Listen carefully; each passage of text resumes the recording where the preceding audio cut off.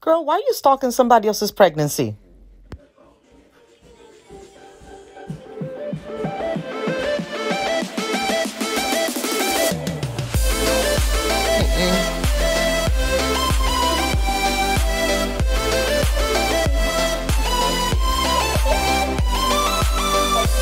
Hi, girl.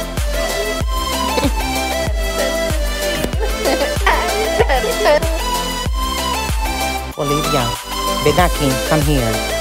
It's okay to take the kids out to the park, to the zoo, to Legoland. You don't have to be cooped up in the apartment, mamita. Go out, enjoy life, enjoy the babies.